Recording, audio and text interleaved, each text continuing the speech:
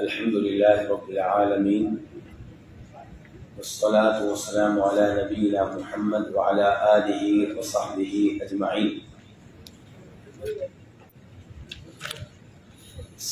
दावत के उसूल ये वो किताब है जिस पे ये दौरा मुनाफिक हो रहा है इसके मुसन्निफ इसके मुअल्लिफ इसके राइटर कौन हैं शेख अब्दुलसलाम बिन बर्जिस आले अब्दुल करीम। तो सबसे पहले मुख्तर तौर पे जानना चाहेंगे कि सल्फी दावत के असूल क्या है। इसके लिए सफ़ा नंबर आठ तो सफ़ा नंबर आठ तरह देखिएगा इस किताब का। उसमें फहरिस्त दी गई है सल्फी दावत के उन असूलों की जो हम पढ़ेंगे। आखिरी तीन लाइनें। पहला उसूल, इल्म शरी के हसूल का अहतमाम करना और दीन की समझ हासिल करना। तो अगर आप सही मानों में सल्फी बनना चाहते हैं तो फिर आपको शरी इलम देना होगा। दीन बाकायदा तौर पर सीखना होगा। तफसीलात आएँगी। दूसरा असूल दीन इस्लाम को अमली पैमाने पर तदबीक देने की कोशिश करना। यानी कि इस दीन पे फिर अमल भी करना होगा। पहले इलम देना है, दूसरे नंबर पे अमल करना है। तीसरा उसूल, इल्म बसीरत की बुनियाद पर दावत का काम करना। यानी कि पहले क्या था इलम? फिर अमल। अब लोगों को दावत देना, लेकिन दावत इसलिए नहीं देनी कि आप खुद ज़ाहिर हो। दावत देनी है इलम की बुनियाद पे, बसीरत की बुनियाद पे। चौथा उसूल, इल्म अमल और तालीम, हर पैमाने पर अकीदा सलफ का अहतमाम करना। जब आप इलम ले रहे हो, जब आप अमल कर रहे हो, जब आप तालीम दे रहे हो, इन तीनों में आपने सलफ के अकीदे को पेश नज़र रखना है। पांचवा असूल सुनते नबी का अहतमाम करना, इस पर अमल का खुगर होना, और उसकी तरफ़ दूसरों को दावत देना। ये पांचवा असूल क्या है? कि नबी अलैहिस्सलाम की सुन्नत का अहतमाम करें। आपकी अहादीस का एहतमाम करें। उसका इलम भी लें और उस पर भी अमल करें और दूसरों को दावत दें। छठा उसूल, उलमाए सुन्नत से मजबूती के साथ जुड़ कर रहना। वो उलमा जो तोहीद पे हों, जो सुन्नत पे हों, जिनका अकीदा और मन जी को उनके साथ जुड़ कर रहे। सातवां उसूल सियासी पार्टियों और पुरअसरार खुफिया इस्लामी जमातों और तंजीमों से दूर रहना। इसमें ये जो है सियासी पार्टियों, ये लफज, यानी कि चाहे आप मिटा दें, उसके बाद पुरअसरार खुफिया इस्लामी जमातों और तंजीमों से दूर रहना। वैसे तो सियासी पार्टियों का भी मौजूदा जमाने में कोई फ़ायदा नहीं है। उनसे दूर ही रहना चाहिए, लेकिन वैसे जो तर्जमा है उसके लिहाज से बात कर रहा हूँ आठवां उसूल, हुक्मरानों के साथ मामलात और बर्ताव में उन उसूलों की पाबंदी करना, जिन पर किताब सुन्नत और जमाए सलफ की मोहर हो इनके हुक्मरानों के साथ आपका रवैया कैसे होगा, आपका, उनके साथ डीलन कैसी होगी, बर्ताव कैसा होगा इसमें आप उन असूलों पे कारबंद रहेंगे, जो किताब सुन्नत में बताए गए हैं और जिन पे हमारे सरफ का इजमा है। नौवा असूल अहले बिदत का मुकाबला करना और उनसे लोगों को आगाह करना। नौवा असूल जो है, अहल बिदत का मुकाबला करने की बजाय बेहतर लफज होगा, अहल बिदत से दूर रहना। अगर अहले बिदत का हमें मुकाबला भी करना है लेकिन जो राइटर ने लफ्ज इस्तेमाल किया है, उस लिहाज से तर्जमा ये ज़्यादा मुनासिब रहेगा, अहल बिदत से दूर रहना। याद रहे कि ये किताब अरबी में है, और अभी हम देखेंगे इनके राइटर कौन है मुसनफ कौन आगे चल के वो भी देखेंगे। इसका तर्जमा किया है हमारे मुहतरम डॉक्टर अजमल मंजूर सनावली मदनी ने, और बहुत अच्छा तर्जमा है। लेकिन तर्जमा मैं करूँ या कोई और करे? जो भी करेगा वो इंसान होगा। तो एक इंसान से दूसरा इंसान तर्जमे में आपस में इख्तलाफ रखेगा। तो कहीं कहीं मुझे हो सकता है कि हमारे फाजल मुतरजम से इख्तलाफ हो तो वहाँ पे शायद मैं कहूँगा कि इस लफ्ज़ की बजाय ये लफ्ज़ बेहतर है, वरना उन्होंने बहुत मेहनत की है। मैं फिर कह रहा हूँ, तर्जमा मैं करूँ तो हो सकता है मुझसे वो कई अल्फाज में इख्तलाफ करें। तो ये होता है, ये कोई बड़ी बात नहीं है कहने का मतलब ये है। तो नमा उसूल क्या होगा? अहल बिदत से दूर रहना और उनसे लोगों को आगाह करना। ये नहीं कि बताना कि ये अहल बिदत है और इनकी बिदात से दूर रहना है। दसवां उसूल, ज़िंदगी के तमाम मामला और हालात में किताब सुन्नत को लाजम पकड़ना। तो ये वो दस उसूल हैं जो हम तफसील के साथ पढ़ेंगे। उसके बाद ये लिखने वाले कहते हैं इस ये असल में ये भी बता दूँ कि किताब के जो राइटर हैं, उनके नाम तो आपने जान लिया, क्या नाम है बला जी, अब्दुल सलाम। इन्होंने ये किताब नहीं लिखी। बुनियादी तौर पे ये इनका मुहावरा है। ये तकरीर की थी, इन्होंने खुतबा दिया था। ये लेक्चर है। जिसको बाद में किताबी शक्ल दी। ये बात आपके जहन में रहनी चाहिए। ये असल में उन्होंने क्या दिया था? मुहावरा दिया था। बाद में इसको तहरीरी शक्ल दे दी गई, किताबी शक्ल दे दी गई।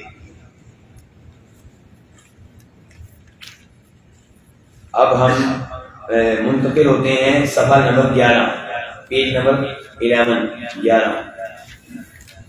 ताकि हम जान सकें कि ये जो मौलफ हैं ये जो शेख हैं, इनका तारुफ क्या है? तो सबसे पहले नामो नसब। Abu Abdulrahman Abdulsalam bin Burjis bin Nasir, Al Abdul Karim. आप एक फादर शेख, फ़कीह वक्त, एक आलिम और उसूली थे। थे का मतलब यह है कि ये बहुत हो चुके हैं। और आगे चलकर आपको मालूम होगा कि इनकी उम्र कुछ ज़्यादा नहीं थी। हम में जो अक्सर लोग बैठे हुए हैं, उनसे ये छोटे थे। यानी कि इनकी उम्र सिर्फ़ अड़तीस साल थी थर्टी एट जब फौत हुए। चालीस साल से कम उम्र थी। आप इससे अंदाज़ा लगा सकते हैं कि अल्लाह ने इनसे दीन का कितना काम लिया थोड़ी सी उम्र में। उसके बाद नशो नुमा और हसूल इल्म आपकी पैदाइश ममलकत सऊदी अरब की राजधानी राजधानी किसे कहते हैं? दार हुकूमत शहर रियाज में तेरह सौ सतासी हिजरी में हुई। तेरह सौ सतासी हिजरी में ये पैदा हुए हैं। और अभी कौन सा साल चल रहा है? चौदह सौ चवालीस। आज से कितने साल पहले पैदा हुए जी फिफ्टी सेवन के नाइन नाइन फिफ्टी नाइन यानी कि उनसठ साल पहले ये पैदा हुए था आपकी परवरिश एक दीनदार और नेक घराने में हुई आप बचपन ही से जकावत जहानत अजमो हजम जिद्दोजहद और मेहनत में मुमताज़ थे चुनाचे आपने कुरान करीम को तेरह साल की उम्र में हिफज करके उसूल इलम के लिए कमर कस ली। तलब इलम में आपकी रगबत और इम्तियाजी शान को देखकर मशाइ ने आप पर खसूसी ध्यान दिया। जब बच्चा पढ़ने वाला हो, उस्ताद भी तवज्जो देता है। क्योंकि पढ़ने वाले थे, जहीन थे, इसलिए इनके इस ने भी इनके ऊपर तवज्जो दी। चुनाचे आप बचपन ही में दहानत व फतानत और हसूल इलम में शदीद रगबत के लिए मारूफ थे। जहानत भी और मेहनत भी। ऐसा बच्चा कामयाब होता है। कुछ बच्चे जहीन होते हैं, लेकिन मेहनत नहीं करते। और कुछ बच्चे ऐसे हैं जो मेहनत करते हैं, लेकिन जहानत कम मिली होती है। जो बहुत आगे जाएगा, वो होगा जिसमें दोनों चीज़ें हो अल्लाह की तरफ़ से जहानत भी हो जहन तेज हो और मेहनत करने वाला हो। साथ ही आपको नेक और इल्मी माहौल भी मिल गया। लो तीसरी चीज़ ये मिल गई कि खानदान भी अच्छा था, नेक लोग थे, जिसकी वजह से आपने रसूल इलम की पूरी कोशिश की। रातों को जाग कर बड़ी मेहनत से आपने इलम हासिल किया उसूल इलम के सिवा आपने किसी तरफ़ मुड़कर कभी देखा भी नहीं। बस इलम के दाएँ बाएँ घूमते रहे। इसी तरह आपने शरी में बहुत कुछ हासिल किया। आपने के इल्मी दुरूस में हाजिरी की, पाबंदी की। हाजिरी की क्या की? और आप क्या करने वाले हैं मेरे साथ अभी? अभी आप आए हैं, ईशा के बाद नज़र आएँगे कि नहीं? और कल ज़ोर के बाद? और मगरब के बाद तो ये देखने जरा ये हम जो उनकी सीरत पढ़ रहे हैं, इसे सबक हासिल करना चाहिए। नागे ने, नागा ने। तो आपने उलमा के इल्मी दुरुस्त में हाजिरी की पाबंदी की। आप हर उस इल्मी दर्स में हाजिर हो जाते, जिसमें जरा भी फ़ायदा देखते। कितना फ़ायदा देखते? कुछ ना कुछ मिलेगा, पहुँच जाते। किसी तरह का इल्मी गरूर और तरफो नहीं था। लोग, ये भी बड़ी अहम बात है। आप से ऐसे होंगे जो शायद मदरसा पढ़े हुए हों। और वो समझे कि भाई, इस दस के दस असूल हम तो पहले से जानते हैं। तो ये चीज़ भी इलम में रुकावट बन जाती है कि इंसान समझे कि मैं सब कुछ जानता हूँ। मैं पहले से ही आलम। तो शेख में क्या था? किसी तरह का इल्मी गरूर और तरफो नहीं था। बराबर पाबंदी से सब्र जोहद के साथ इलम हासिल करते रहे। यहाँ तक कि बचपन ही में आपने मुख्तलिफ़ फनून में इतना इलम हासिल कर दिया जितना दूसरे हासिल नहीं कर पाते। चुनाचे आपने हदीस, अकायद फिर उसूल उसूल से मुराद क्या उसूल फिर मुस्तला, इनके उसूल हदीस। अरबी लगत के और दीगर मुतद फ़नून में महारत हासिल कर दी बाद साथियों ने बयान किया कि शेख बहुत सारे इलमी मतून भी जबानी याद किए हुए थे। बहुत सी कुतुब जुबानी याद कर चुके थे। इन कुतुब में हाफिज बिन हजर रहमल्ला की किताब बुलुगुल मराम, हदीस की किताब है। ये शेख ने जुबानी याद कर रखी थी। हजावी किताबुल मुस्तफने। ये किस मौजू पे है? फिर में। इमाम इब्ने खुदामा का नाम शायद सुना हो आप लोगों ने। उनकी ये किताब है अलमुकने। तो अलमुकने की का इख्तसार है अलमुकने बहुत लंबी चौड़ी किताब है। तो एक इमाम हजावी ने आके उसको, उसका इख्तसार किया। तो क्या नाम रखा? जातुल मुस्तफने। और बाद में कई कराम ने इस मुखसर की फिर क्या की? शरा की। कराम क्या करते हैं? जरा समझे आप। इमाम बिन खुदामा ने बड़ी किताब लिखी फिक में क्या नाम रखा? अलमुकने। ये हजावी आए, इन्होंने उसका इख्तसार किया, मुख्तर कर दिया, उसको क्या नाम रखा? जादुल मुस्तकने। अब बहुत से के नाम ने जादुल मुस्तकने की शरा लिखी है। उनमें से एक है शेख इब्ने उनकी शर का नाम क्या शरुल मुमते। अच्छा ये दो किताबें शेख ने जुबानी का याद कर रखी थी, हदीस में भी और फिक में भी। फिक समझते हैं ना आप लोग? हदीस तो नबी वसल्लम की हदीस हम तो आप जानते हैं। फिक में क्या होता है? फिक में आपको बताया जाएगा कि मिसाल के तौर पे नमाज़ में कौन सी चीज़ें जो हैं, वो फ़र्ज़ हैं, कौन सी चीज़ें सुन्नत हैं? वज़ू में कौन सी चीज़ें फर्द हैं, कौन सी चीज़ें सुन्नत हैं? मिसाल के तौर पे मैं आपसे सवाल करता हूँ कि सूरह फातिहा के बगैर नमाज़ हो जाती है। इसको रुकन और फ़र्ज़ कहते हैं। और अगर मैं ये पूछूँ आपसे कि सूरह फातिहा रह जाए या किसी का रुकू रह जाए या सजदा रह जाए तो सजदा साफ़ कर ले तो काम चल जाएगा? नहीं चलेगा। अगर किसी का पहला तशाउद याद रह जाए, भूल जाए और सजदा साफ़ बाद में कर ले काम चल जाएगा। चल जाएगा। यहाँ काम चल जाएगा इसका मतलब है कि नमाज़ में कुछ अमूर रुकन होते हैं, कुछ वाजब होते हैं, कुछ सुन्नत। तो ये चीज़ें हमें तफसीलात कहाँ मिलती हैं? फिक की किताब में। ज़रूरी नहीं कि फिक में जो भी चीज़ मौजूद हो, आप उस पर मुतमिन हो। आप दलैल की रोशनी में उसका जायजा लेंगे लेकिन बहरहाल फिक की किताबें बड़ी अहमियत रखती हैं। खसूस ये किताब जो है ज़ात मुस्तफ़ अच्छा उसके बाद तीसरे नंबर पे इमाम इब्न की अलकसीदा अन्नूनिया।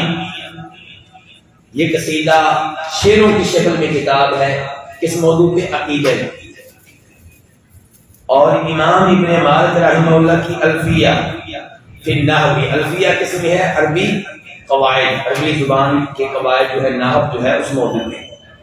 तो ये उन किताबों में से चार किताबें हैं जो शेख अब्दुलसलाम जिनकी हम किताब पढ़ रहे इनको जुबानी याद थी। उसके बाद दरस निज़ामी। आपने अपनी तालीम शहर रियाज में हासिल की।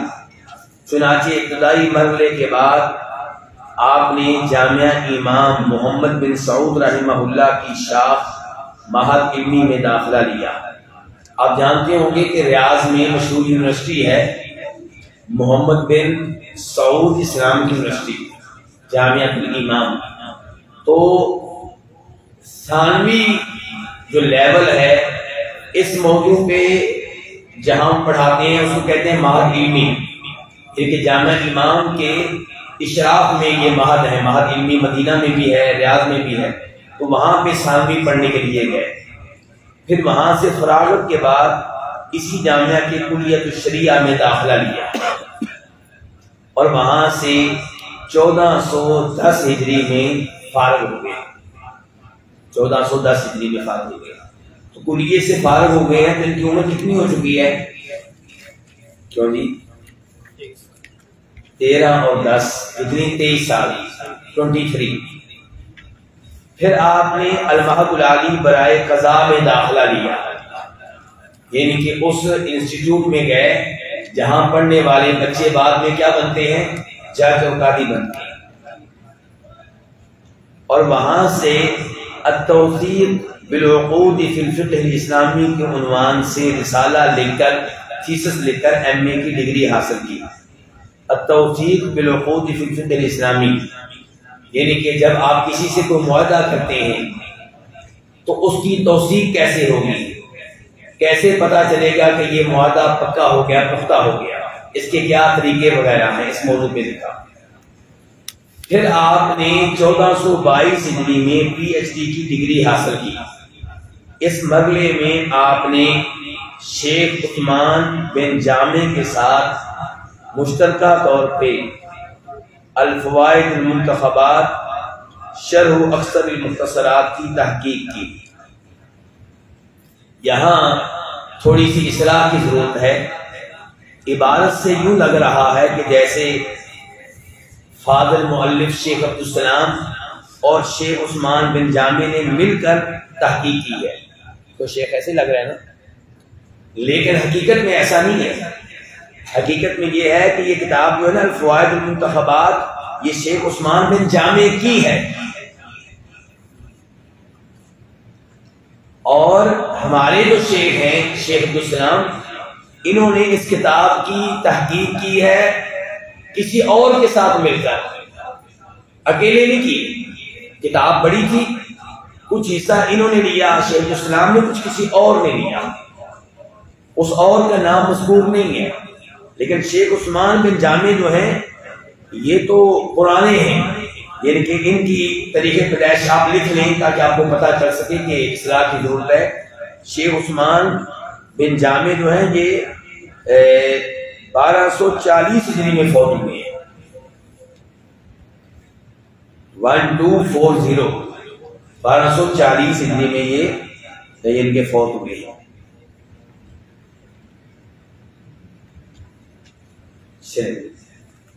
तो ये हुआ, पहले उनका एमए का थीसिस और फिर बताया कि आपको पीएचडी में उन्होंने किस मौजू पे तहकीक की। अब आते हैं उनके इस मशाइ की तरफ़। किन इस मशैक से उन्होंने इलम लिया? नंबर एक, शेख अब्दुल अज़ीज़ बिन अब्दुल्ला बिन बास। शेख बिन बास को तो आप जानते ही हैं। दूसरे नंबर पे शेख अल्लामा मोहम्मद बिन सालिम बिन उथैमीन। इनको भी आप जानते हैं। और दोनों की तरीके वफात भी लिखी हुई है। तो एक सा, एक साल शेख ने बाद फौत हो गए हैं उसके अगले साल कौन फौत गए शेख ने सैमी तीसरे नंबर पे शेख अलामा मुहदस अहमद चौथे नंबर पे Sheikh doctor Abdullah bin Abdulrahman bin Jibreen. इनके साथ चार साल तक रहे कौन? शेख अब्दुलसलाम। इनके साथ कितना असर रहे हैं? चार साल। नंबर पाँच शेख अलामा मुहदस अब्दुल्ला, अद्वैश, चौदह सौ नौ हिजरी में ये फौत हुए हैं। बुरैदा में छुट्टियों के अयाम में इनके पास पढ़ते थे। जब छुट्टियाँ आती गर्मियों की, तब बुरैदा में जो कसीम में है तो वहाँ इनके पास पढ़ते थे। इसका मतलब यह है कि ये जो हमारे मुअल्लिफ हैं, इन्होंने छुट्टियों के अयाम भी ज़ाया नहीं किए जून, जुलाई के अयाम इसलिए नहीं है कि आप ये, आप जो मर्ज़ी करें। नहीं, इनमें भी आप कोई ना कोई इलम हासिल करें, कोई ना कोई दर्ज तलाश कर। नंबर छह, शेख अलामा फकीर साले बिन अब्दुल्ला अकरम इनसे कुलिया में इलम लिया, जाम इमाम में। नंबर सात, शेख फार अल हुमैन हाफिजाउल्ला यानी कि ये ज़िंदा थे, अब तो ये भी फौत हो चुके हैं। इनसे तोहीद और फिक की तालीम ली नंबर आठ, शेख अलामा अब्दुल्ला अब्दुलमान बिन उदैयान इनसे अलमहदुल्ली बरए कदा में पढ़ाई की। तो ये शेख के आठ बड़े मशाइ हैं। इसका मतलब यह है कि इलम लें, इस शेख से भी, उस शेख से भी सिर्फ़ एक शेख काफ़ी नहीं है। कई एक मशाइ से इलम लें और सब मशाइ वो हों जो अकीदे के लिहाज से दुरुस्त अकीदे पे हों, सलफ के अकीदे के ऊपर।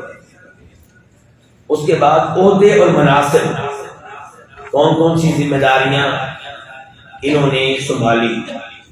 नंबर एक अलकुवैया रियाज के मगरब में ये वाक़ है और रियाज से 170 किलोमीटर दूर है। वहाँ अलमहदुलमी है, वहाँ इनकी बतौल मुदरस तकर्री हुई। और ये तकर्री चौदह सौ दस में जो शरिया से फरागत के बाद हुई। नंबर दो, वजारत अदल की तरफ़ से बतौर कादी मुतन किए गए जज, मगर इससे तनाजुल ले लिया। ये ज़िम्मेदारी छोड़ दी। क्यों छोड़ी होगी आपके ख्याल में? रोज़े क्यामत, जवाब देना जरा मुश्किल है। जज बनना, ये आसान नहीं है। आप इंसान हैं। ईमानदारी से इलम की रोशनी में फैसला करें, लेकिन इंसान को फिर भी डर लगता है कि कहीं मैं कोई जानबूझ की गलती न कर बैठूँ। तो छोड़ दिया इसको। नंबर तीन, फिर जद्दा के जुद्दा के अंदर दीवान मदालम में तकर्री हो गई, मगर एक ही हफ़्ते के बाद वहाँ से भी इस्तीफा ले लिया। इनके यहाँ पे भी बतौर जज गए, और इससे भी इसको भी छोड़ दिया। और अरबी में यहाँ पे ये भी लिखा हुआ है फतारा कहू, रगबतन सलामा। कि ये भी इसलिए छोड़ दिया ताकि रोज़े क्यामत सलामत रहूँ, अल्लाह के सामने को मुआवजा ना हो को बात पूछ ना हो। नंबर चार, वहाँ से रियाज चले आए और अलमहदुल्ली बरए कदा में बतौर लेक्चरार, बतौर मुहादर मुतन हो गए।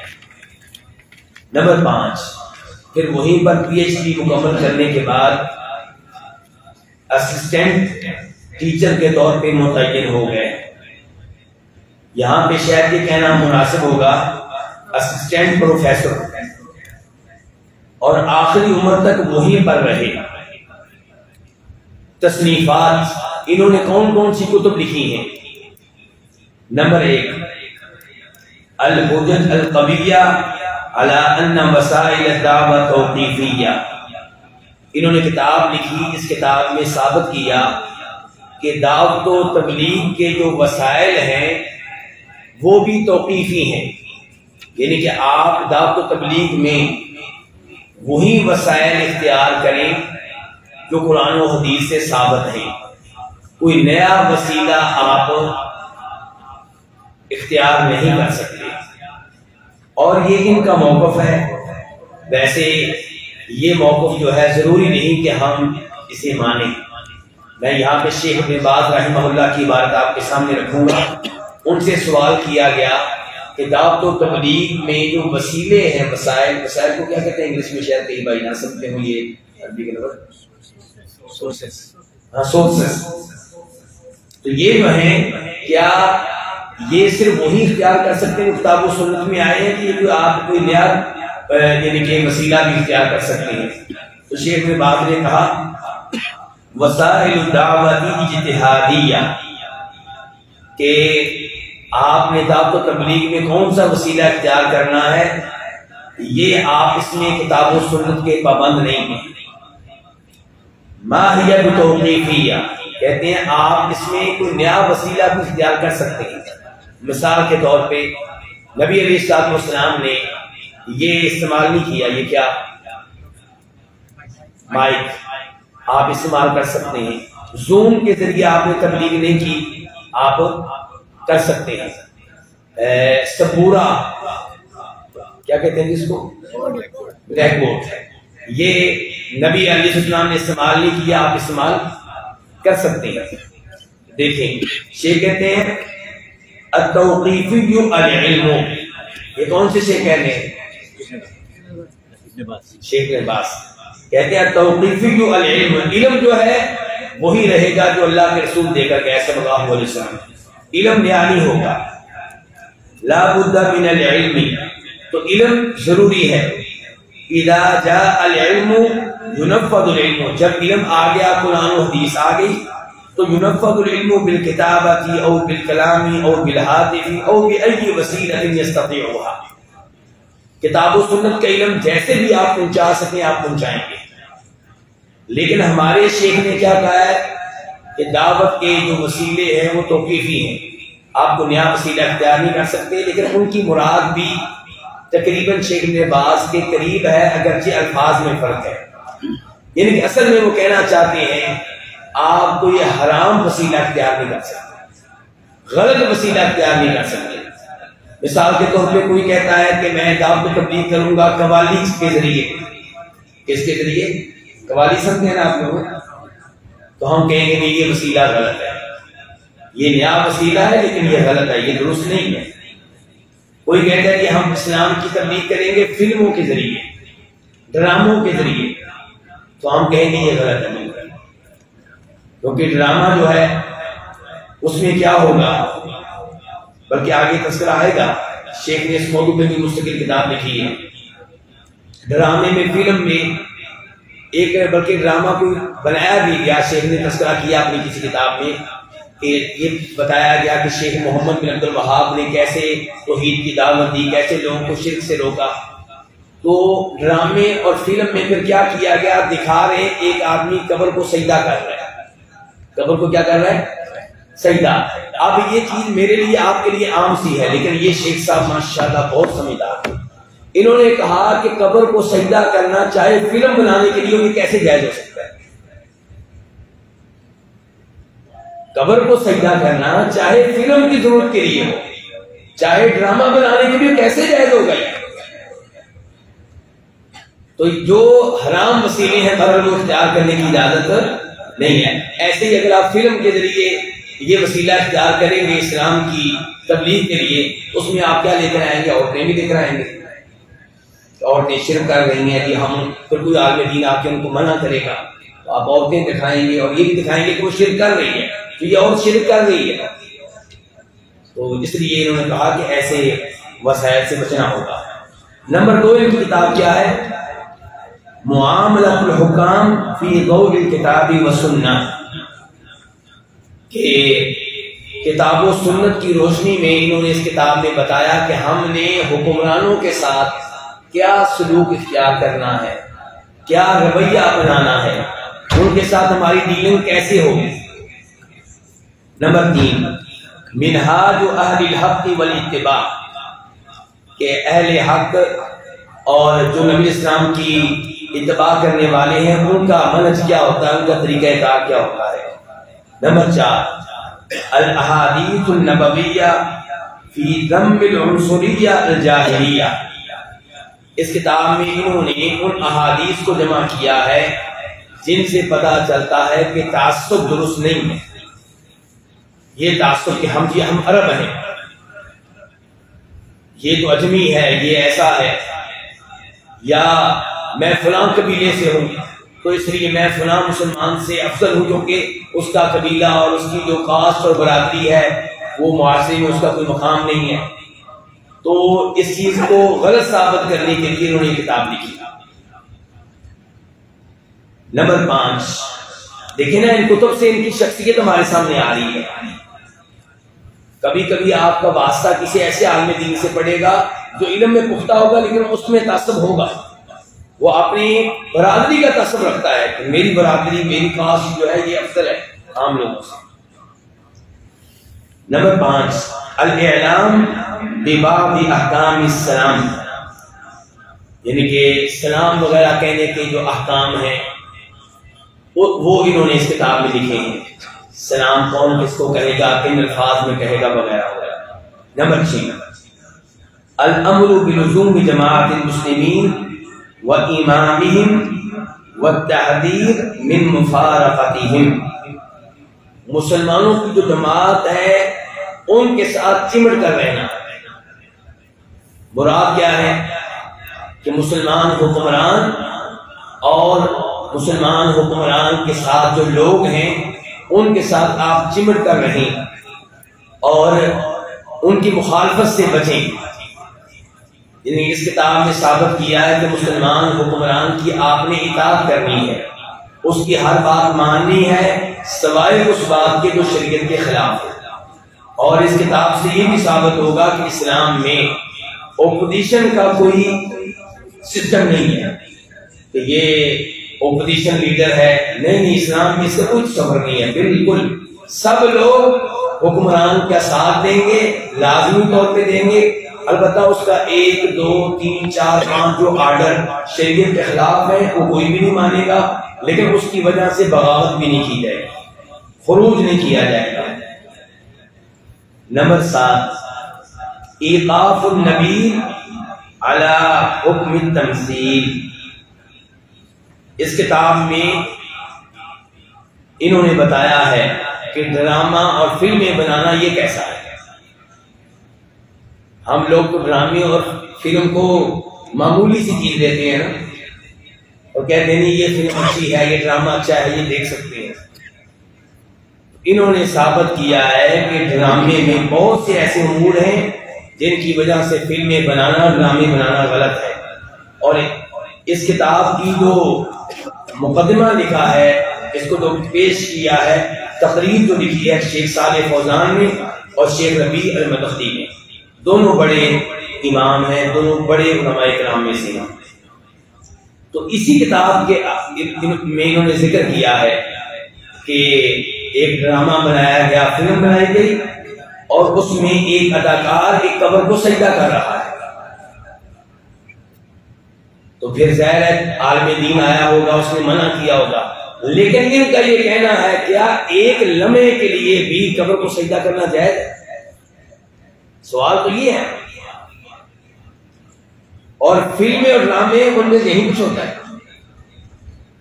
आप जिस बुराई के खिलाफ भी ड्रामा बनाएँगे, फ़िल्म बनाएँगे, पहले वो बुराई करेंगे। मिसाल के तौर पे, आपकी अच्छी नीयत है। आप लोगों को इशक से रोकना चाहते हैं तो इसमें भी पहले दिखाएँगे कि ये लड़की लड़का इशक कर रहे हैं। तो क्यों ये दिखाएँगे कि आप? ये गलत काम क्यों हो रहा होगा उसमें बेपर्दगी के खिलाफ भी आप अगर फ़िल्म बनाएँगे तो पहले दिखाएँगे कि औरतें फिर रही हैं। कैसे पर्दे के बगैर? दूसरे नंबर पे इन्होंने इस किताब में लिखा कि इसमें क्या होगा, झूठ होगा। कोई अदाकार डॉक्टर बनेगा जबकि वो डॉक्टर नहीं है। कोई अदाकार क्या बनेगा? लोहार बनेगा जबकि वो लोहार नहीं है। ड्रामे की ज़रूरत के पेश नज़र फ़िल्म की तो ये झूठ है। सारी गुफ्तगु जो करेगा वो झूठ पे मुश्तमिल होगी। और झूठ बोलना जायज़ बिल्कुल नहीं है। ऐसे ही इन ड्रामों, फ़िल्मों में क्या होता है? मर्द औरतों की मुशाबत और औरतें मर्दों की मुशाबत। कई दफ़ा मर्द जो है वो किसी औरत का किरदार अदा कर रहा होता है। तो ये सब चीज़ें गलत हैं। फिर इनमें क्या होता है? साथ का इस्तेमाल। सास के आलात का मौसीकी म्यूज़िक वगैरह, उनका इस्तेमाल। तो ये इस तरह की कई कबातें ज़िक्र किए इन्होंने इस किताब में। उसके बाद ही वफात। आपकी वफात एक सड़क हादसे में रोज जुमा बवक्त शाम बारह सफ़र चौदह सौ पच्चीस हिजरी को हुई। जब आप एहसास से रियाब जा रहे थे, रास्ते में आपकी गाड़ी एक ऊँट से टकरा गई। राहिम रहमत उस वक्त आपकी उम्र कितनी थी सिर्फ़? अड़तीस साल। और कितनी किताबें लेकर गए हैं? इनके अलावा भी इनकी किताबें ये तो चंद एक अंदाज़ा करें और सोचें मेरी और आपकी उम्र चालीस चालीस से ऊपर जा रही हमने क्या किया इस्लाम के लिए अब तक? कोई आदमी हमारे ज़रिए मुसलमान हुआ हो किसी को हम, हम शिर से हटाकर हीद पे लेकर आए हो सोचें किसी की नमाज़ ठीक हमने की हो क्या किया हमने अब तक? हम तो अब तक कुरान भी हिफज नहीं कर सके, कुरान का तर्जमा भी नहीं पढ़ सके, दूसरों का क्या करना है? और हम समझते क्या है कि मैं बहुत अच्छा मुसलमान हूँ। तो ये जरा इबरत हासिल करनी चाहिए हमें कि सिर्फ़ अड़तीस साल की उम्र में क्या कुछ करके गए।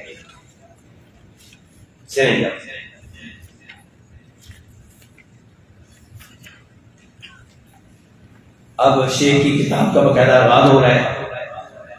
बिस्मिल्लाहिर्रहमानिर्रहीम मुकदमा अल्हम्दुलिल्लाह नहमदुहु व नस्तईनुहु व नस्तगफिरुह व नऊज़ु बिल्लाहि मिन शुरूरि अनफुसिना व मिन सय्यिआति अअमालिना मन यहदिहिल्लाहु फला मुडिल्ल लहु व मन युद्लिल फला हादिय लहु व अशहदु अन ला इलाहा इल्लल्लाहु वहदहु ला शरीक लहु व अशहदु अन्न मुहम्मदन अब्दुहु व रसूलुहु इसका तर्जुमा शेख रहने दो, क्या ख्याल है?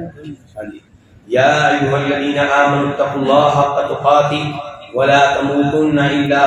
मुस्लिमून। ये पहली आयत है जो आप में पढ़ा करते थे और जिसमें क्या हुक्म दिया गया कि अल्लाह से हर वक्त डरते रहना चाहिए। दूसरी आयत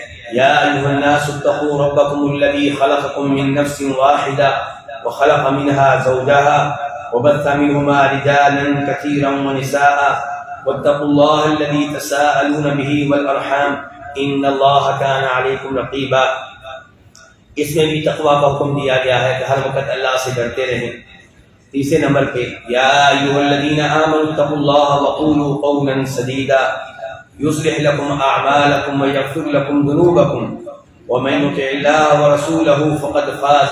अज़ीमा इसमें भी तकवा का हुक्म दिया गया है और ये कहा गया है कि जब भी गुफ्तगू करें तो दुरुस्त बात करें, गलत बात ना करें, ना शरीयत के खिलाफ और ना कोई ऐसी बात जो झूठ पे मुश्तमिल हो। अम्मा बाद फ़इन असक़ल हदीथ कलामुल्लाह, व खैर हदी हदी मुहम्मद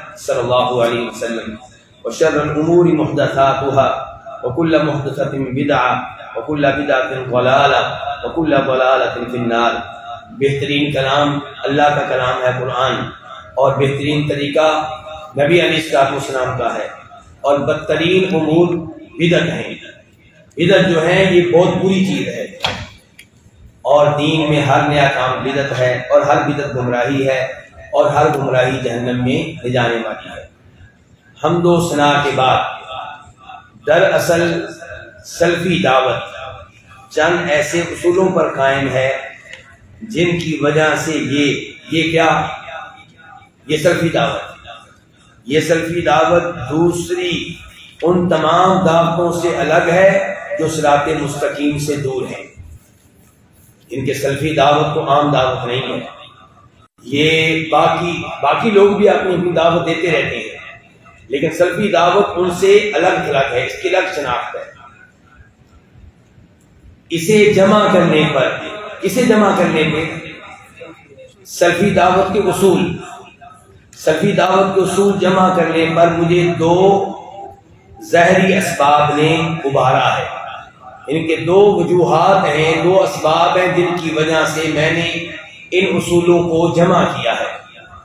पहला सबब, मैंने और दूसरे लोगों ने भी बाद इस्लामी हिजबी जमातों को देखा कि वो भी सलफियत जैसे शरीफ, यानी कि मोहतरम और पाकिजा नाम को अपने साथ जोड़ रही हैं। पहला सबक जिसकी वजह से इन असूलों को जमा किया है हमारे शेख साहब ने, हमारे मौलफ राहिमहुल्ला ने, कि देखा कई ऐसी जमातें हैं जिनका सल्फियत से कोई ताल्लुक नहीं है, लेकिन वो भी अपने आप को सल्फी कह रही कई ऐसी तंजीमें जिनका सल्फियत से कोई ताल्लुक नहीं। और दावा क्या है कि हम क्या है? सल्फी। तो इन्होंने ये उसूल लिखे ताकि वादे किया जा सके कि ये जमातें सल्फी नहीं है, ये सल्फियत से दूर है। वो सलफ सालीन जिनके बारे में नबी अली सलाम ने फरमाया है, खैरन्नास करनी सुमल्लदीन यलूनहुम सुमल्लदीन यलूनहुम। सबसे बेहतर मेरा जमाना है। आपके जमाने के लोगों को क्या कहा जाता है जी? सहाबा कराम। इसके बाद उन लोगों का जो जो इसके बाद होंगे, वो कौन है? ताबीन। फिर जो इनके बाद होंगे, वो कौन है? तबा ताबीन। तो ये है सलफ सालिहीन। जब हम सलफ कहते हैं तो वो कौन है? सहाबा के नाम ताबीन, तबा ताबीन। और हम कहते हैं कि हम सलफी हैं। क्या मतलब? कि हम सहाबा के नाम ताबीन और तबा ताबीन के तरीके पे चलने वाले हैं। फिर इन जमातों और हिजबी तंजीमों ने सलफ और अहले सुन्नत के नाम पर किताबें और रिसाले शाया करना शुरू कर दिए। यानी कि ये पहले तो अपने आप को सलफी कहने लगे और फिर कई किताबें शाया की। और इन किताबों में क्या किया? उन्होंने शहद में जहर मिलाकर इन किताबों को आम किया। शहद में क्या डाला? जहर। यानी कि दावा ये कि हम सल्फी और ये कुतुब भी सल्फियत के मुश्तमिल हैं। लेकिन उनके अंदर खुद भी सल्फी नहीं थे और किताबों के अंदर भी जहर था। ऐसी चीज़ें थी जो सल्फियत के मुखालफ थी। और इस लकब की आड़ में, कौन सा लकब? सलफियत इस लकब की आड़ में तलबीसो तदलील के साथ इन किताबों और रिसालों में छुपते रहे। यानी कि ये किताबें लिखकर और ये रिसाले लिखकर ये जहर करते रहे कि हम सल्फी हैं और जबकि वो गुमराह थे और उनके पास कई गुमराहियाँ थी लेकिन इन किताबों के ज़रिए अपने आप को उन्होंने छुपाया। जो कि हकीकत में सल्फी मन से अलग हैं और इनसे खवारिज, मोतजिला और सूफिया जैसे गुमराह फिरकों को मदद और तइद मिलती है। यानी कि जो किताबें उन्होंने लिखी, जो रिसाले उन्होंने लिखे, वो सल्फी मन से दूर थे और उनसे उनसे तइद किन को मिल रही थी खवारिज को। खवारिज जानते हैं ना आपको? जो हुक्मरानों के खिलाफ बगावत करते हैं। और मोतजिला ये अकल परस्त लोग थे। जिन्होंने बहुत सी गुमराहियाँ फैलाई। मिसाल के तौर पे अल्लाह ताला के नामों का इनकार, अल्लाह की सिफात का इनकार, और सही माने में तकदीर को भी मानने से इनकार किया। बंदों के अफाल के बारे में कहते थे कि हम खुद इनके खालिद हैं। तो इस किस्म की बहुत गुमराही इनकी तरफ़ जाएँगी और सूफियों को तो आप जानते होंगे। सूफियों को तो आप जानते होंगे। कई लोग शायद ना पहचानते हो सूफियों को। ये आमतौर पे सूफी मिल जाएँगे आपको, ये दरबारों पे, मज़ारों पे। लोग मिलेंगे आपको, जो किताबों सुन्नत से बहुत दूर हैं। कवालियाँ सुनने वाले और कब्र प्रस्ती की शक्ल में शिर को रवाज देने वाले और कई और कबातें उनमें हैं। दूसरा सबब दूसरा सबब किस चीज़ का? जी, आपसे मेरा सवाल है, दूसरा सबब किस चीज़ का? जी, किताब लिखने का, सल्फी उसूलों को जमा करने का। सल्फी उसूल मैंने क्यों जमा किए? कौन बता रहे हैं ये? आप जाग रहे हैं ना? कौन बता रहे हैं बड़ा? शेख अब्दुलसलाम बता रहे हैं। डॉक्टर अब्दुलसलाम बता रहे हैं कि मैंने सल्फी उसूल क्यों जमा किए? तो पहला सबब क्या था? कौन बताएगा आप में से? पहला सबब क्या था? कौन जमा किए उन्होंने पहला सबब कौन बताएगा मुझे? जी बेटा। यानी पहला सबब ये था कि वो लोग यानी बताना चाहते थे कि जमातें ऐसी हैं। जो यानी बुरा काम करती हैं लेकिन अपने आप को अच्छा ज़ाहिर करती हैं। माशाल्लाह माशाल्लाह माशाल्लाह।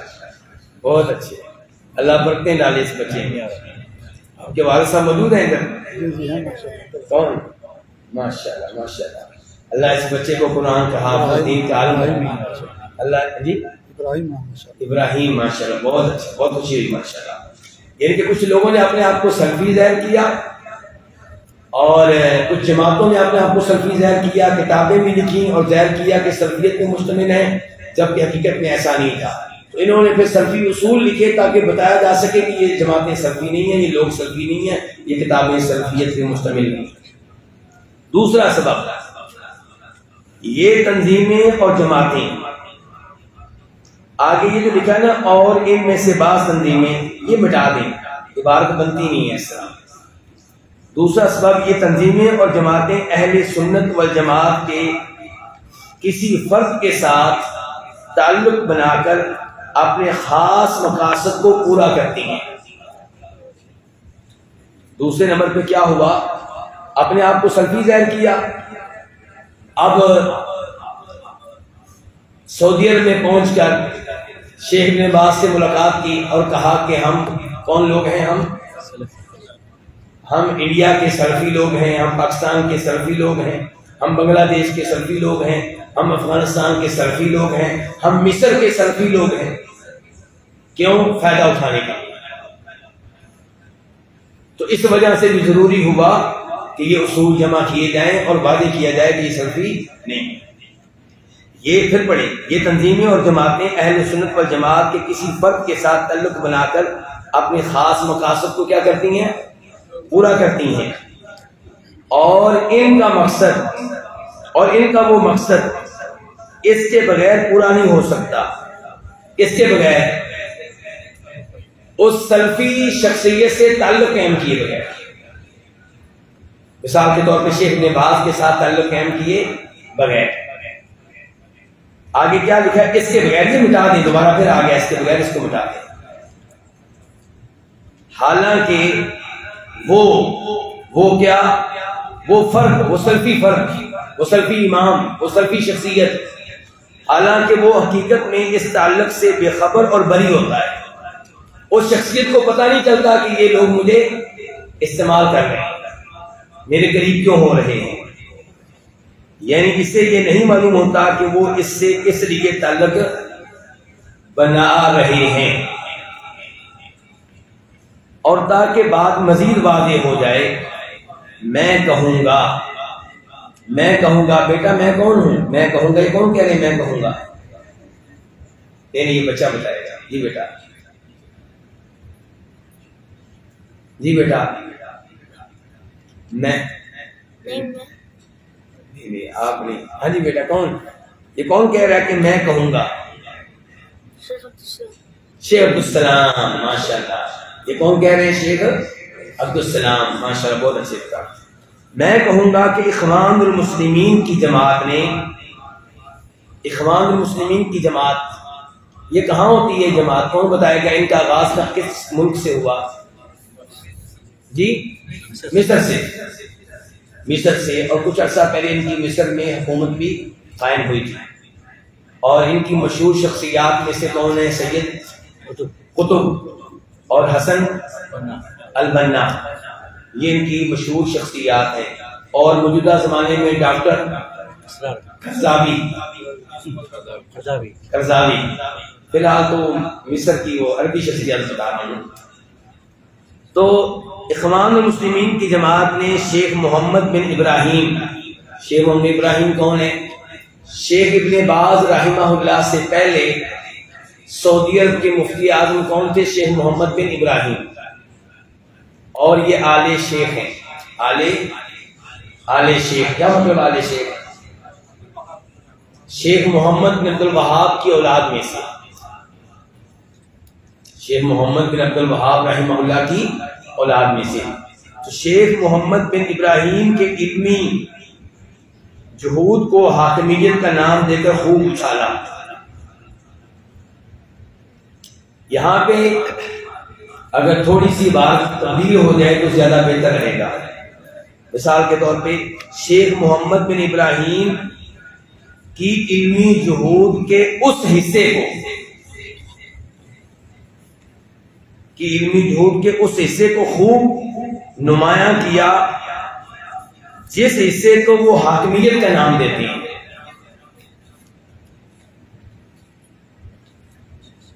आपने तोहीद हाकमियत सुनी है? तोहीद हाकमियत। आप कौन कौन सी तोहीद को जानते हैं? तो बच्चों, आप कौन कौन सी तोहीद को जानते हैं?